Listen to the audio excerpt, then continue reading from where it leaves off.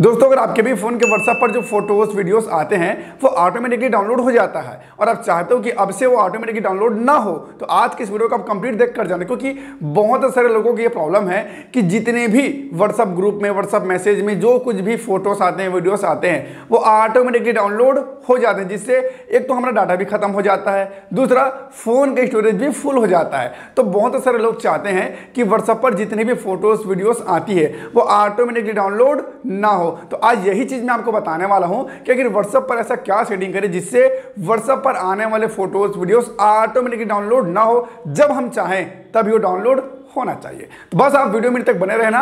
आज इस वीडियो को देखने के बाद आपका प्रॉब्लम सॉल्व हो जाएगा। नमस्कार दोस्तों, मेरा नाम है संदीप। स्वागत है आपका टीचिंग संदीप यूट्यूब चैनल पर। चलिए शुरू करते हैं। तो दोस्तों, अभी आपको साइड में मेरे मोबाइल की स्क्रीन दिख रहा होगा तो सबसे पहले आपको करना क्या है? प्ले स्टोर ओपन करना है, ठीक है? प्ले स्टोर इस तरह से। हमने ओपन किया प्ले स्टोर अब यहाँ पर आपको टाइप करना है व्हाट्सएप ठीक है व्हाट्सएप और इसे आपको अपडेट करना है। सबसे पहला काम आपको क्या करना है, इसे अपडेट करना है, क्योंकि बहुत सारे लोग पुराने वर्जन पे होते हैं, फिर वो सेटिंग मिलता नहीं, फिर आप बोलोगे कि आपका ऐसे ट्रिक काम नहीं करे, इसलिए आप सबसे पहले अपने व्हाट्सएप को अपडेट कर लीजिएगा।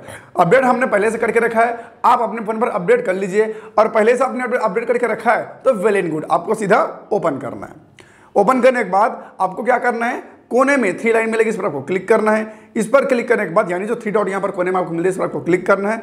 फिर आपको सेटिंग पर क्लिक करना है, ठीक है?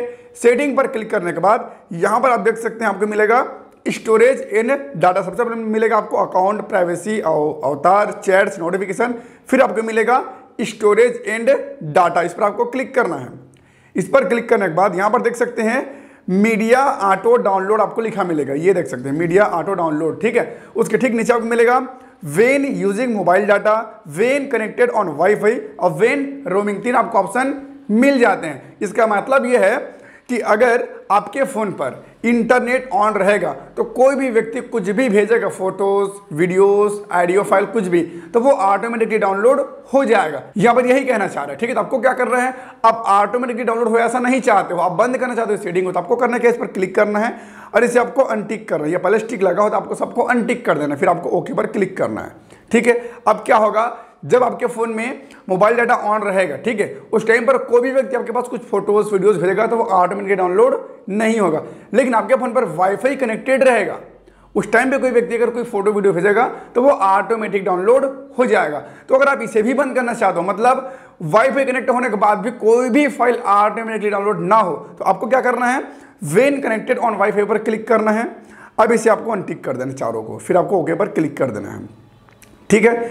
अब वेन रोमिंग पर आपको क्लिक करना है इस तरह से, और इसे भी आपको अनटिक कर देना है। ये ओके अब तीनों सेटिंग हमारा कंप्लीट हो चुका है। अब आपके फ़ोन में चाहे वाईफाई कनेक्टेड हो, चाहे रोमिंग हो, चाहे आप इंटरनेट डाटा ऑन किए रहे हो।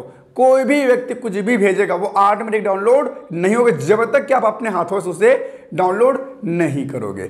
बस इतनी सेटिंग आपको करना है। इतना सेटिंग करने के बाद आप एक बार रिसेंट को क्लोज कर लीजिए। फिर आप देखेंगे कि कोई भी व्यक्ति कुछ भी फ़ाइल भेजेगा, वो ऑटोमेटिक डाउनलोड नहीं होगा दोस्तों। और इस तरीके से आप अपने व्हाट्सएप पर ऑटो मीडिया फ़ाइल सेटिंग को बंद कर सकते हैं, जिसके बाद कोई भी व्यक्ति आपके व्हाट्सएप पर कुछ भी भेजेगा ऑटोमेटिक डाउनलोड नहीं होगा। आपका डाटा भी खत्म नहीं होगा। आपका स्टोरेज भी फुल नहीं होगा। तो इस बात वीडियो को लाइक कर देना और अभी तक आपने हमारे चैनल को सब्सक्राइब नहीं किया है तो सब्सक्राइब करो सामने घंटे को भी दबा देना और ऑल पे सेट कर लेना, जिससे मेरी नई वीडियो आपको सबसे पहले मिल सके। तो बस आज के लिए इतना ही। फिर मिलते नए वीडियो पर नए टॉपिक के साथ। तब तक के लिए जय हिंद।